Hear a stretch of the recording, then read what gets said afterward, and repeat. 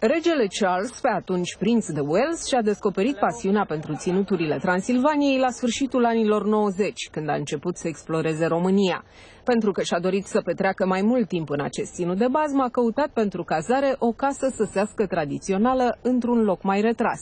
Așa a ajuns la Viscri. A devenit rezident în micul sat transilvanean, iar în nenumăratele vizite care au urmat i-a îndemnat pe localnici să păstreze caracterul unic al locurilor. Turiștii români și străini au aflat cu timpul despre casa prințului Charles, iar satul a căpătat o faimă nesperată.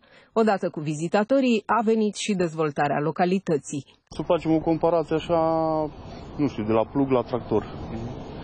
De la sapă la tehnologie. Un salt foarte mare pentru satul nostru.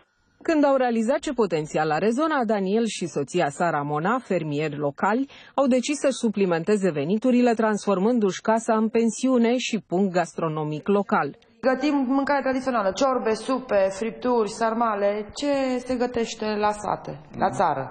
Chiar și casele părăsite de ani de zile și-au găsit repede un rost după ce satul a devenit cunoscut.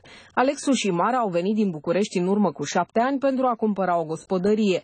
La îndemnul sătenilor însă transformă o casă și anexele într-o pensiune și restaurant slow food.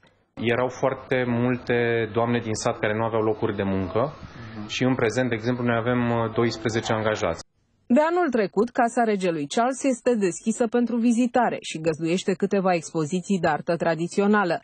Unii turiști vin special să o viziteze zilele acestea când se apropie încoronarea. Știam de marele eveniment și am zis, tot vreau să facem o excursie și am zis să venim să vizităm uh, Viscri și Casa Regelui, ne-a impresionat foarte mult. I was fascinated to see Prince Charles's house and particularly to see the catalogue that's been made of all the flowers of Transylvania. It's a really fantastic piece of work. Chiar dacă este o oază de istorie și tradiție, Viscri este puternic conectat la prezent, inclusiv datorită tehnologiei moderne. Așa că sâmbătă, localnicii vor urmări cu mic cu mare ceremoniile dedicate în coronării vecinului lor, regele Charles, la posturile de televiziune care vor transmite în direct evenimentul.